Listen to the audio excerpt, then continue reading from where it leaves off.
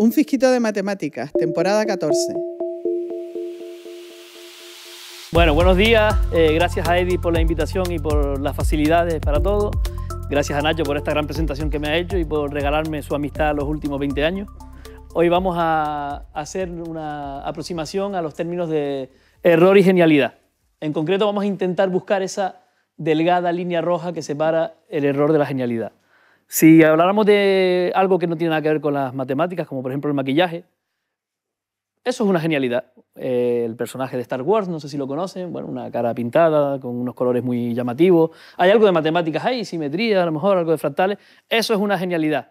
Si tuviéramos que buscar, en este caso, un error, pues seguro que encontramos también algún error. Vale, nos acercamos, antes que nada vamos a ver los términos en sí. Le preguntamos a la RAE qué es el error y qué es la genialidad. El error, una acción desacertada o equivocada, y la genialidad, aunque la definición puede ser muy amplia, muy global, hablamos de una capacidad mental extraordinaria en este caso porque traemos la genialidad a nuestro campo y a la ciencia en general, que es lo que nos interesa en el día de hoy. Centrándonos en matemáticas, eh, genialidad y error. Eh, genialidad, eh, teoremas, lo que, ven, lo que vemos en esta facultad, ¿no? teoremas, propiedades, proposiciones. Está claro que estamos rodeados de genialidad que, que nació de una idea feliz y que se convirtió en algo muy bueno para la humanidad. Y también contribuciones a otras disciplinas en este caso a la, no sé, la arquitectura, a la construcción, a la aeronáutica, ¿no? muchas genialidades de las matemáticas que nos rodean.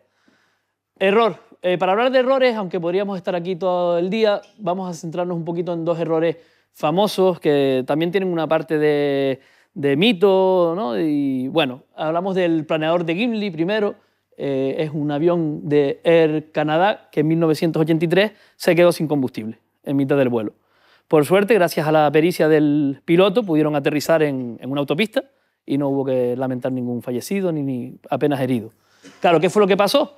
Eran años, imagínense, 1983, pues años en los que en ese momento incluso se le añadía gasolina al avión en el momento del vuelo. Entonces, una de las personas de la tripulación, que era la encargada de añadir esa gasolina, tuvo un error de cálculo propiciado por que una cosa que estaba en kilos lo cogió en libras, y entonces calculó después más los litros y casi la lía, ¿no? Bueno, la lió, lo que pasa es que, no tuvo consecuencias. Podemos hablar del Titanic también. ¿Le suena el Titanic? ¿La película? No, el barco. Bueno, bueno, barco y película, ¿no? El Titanic se hundió, como sabemos, ¿no? Y hay un mito que habla del error matemático que hay detrás de eso, en cuanto a las hélices que tenían que desahogar el agua del Titanic, y en vez de girar cada una en un sentido, giraban las dos en el mismo sentido, y dicen que un menos era el responsable de ese error en una fórmula un menos. Un menos hizo que se muriera Leonardo DiCaprio. Bueno, vamos a, estudiar las relaciones, relaciones, las implicaciones. La genialidad implica errores, evidentemente no siempre, ¿no? Pero podemos hablar de Grigory Perelman, famoso matemático que resolvió el problema del millón de dólares eh, y que desapareció después de ello. E incluso no apareció ni a recoger el premio. ¿Vale? Bueno, desapareció, desaparecer a veces es un error, a veces es un acierto. En este caso es un error porque podía haber seguido trabajando las matemáticas y no lo hizo. El caso contrario, vamos del error a la genialidad.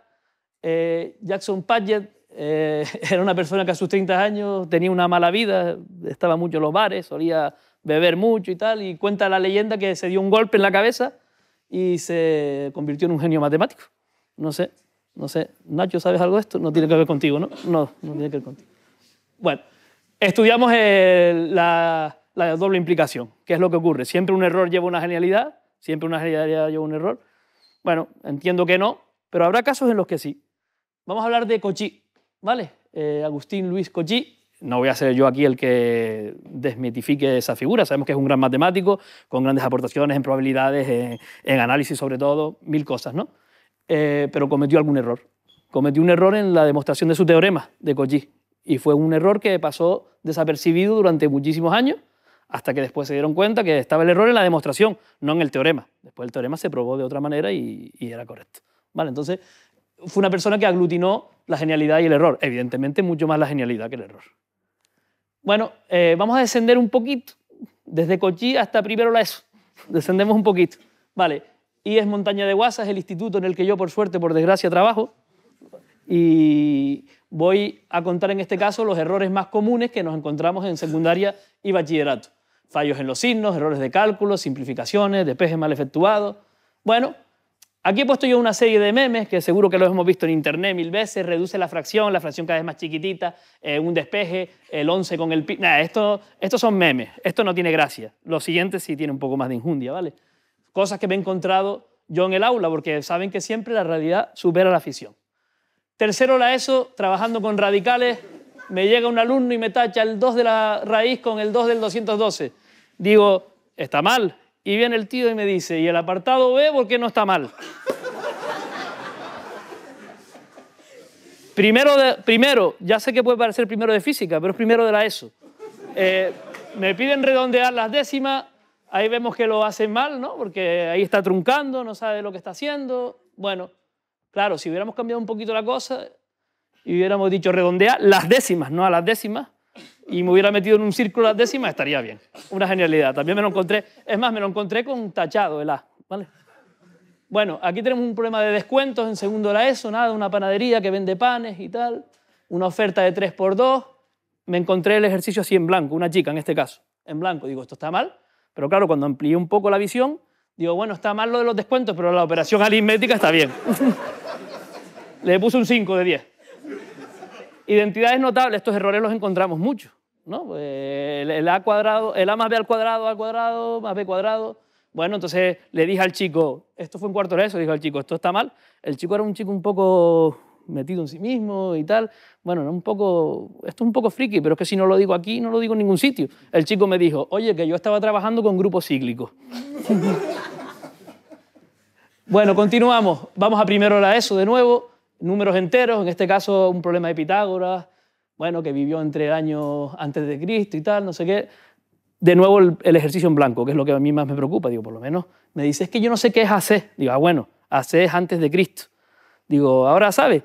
Y me dice él, ¿y yo cómo sé en qué año nació el tal Jesucristo ese? Con lo cual acabé dando clase de religión en vez de matemática.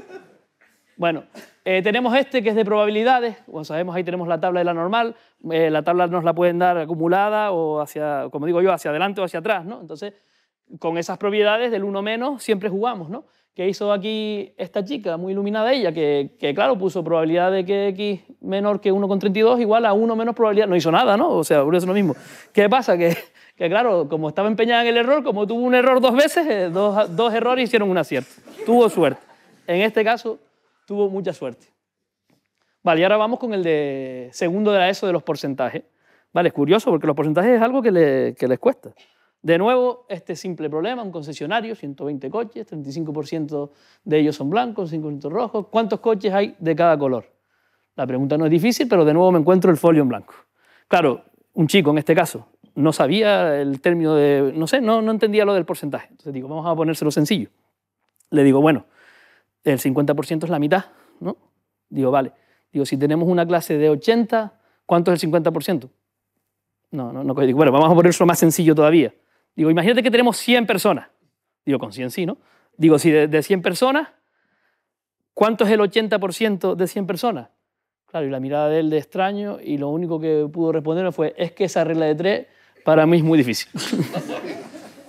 bueno, eh, hemos intentado hacer un, un acercamiento a, esa delgada línea roja.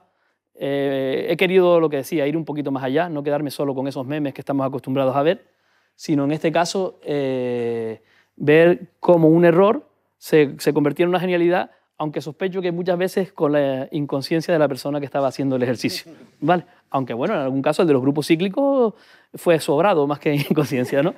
Vale. Bueno, para terminar, terminamos con esta frase de Stephen Hawking, que como todos sabemos era un gran científico, que dice, la próxima vez que alguien se queje de que ha cometido un error, dígale que puede ser algo bueno, porque sin imperfección ni tú ni yo existiríamos. Es una gran frase y creo que es una enseñanza que podemos llevarnos hoy, que siempre tenemos que, que arriesgarnos. ¿vale? Entonces, bueno, ¿qué hubiera sido un error? Un error hubiera sido pasarme de los 10 minutos.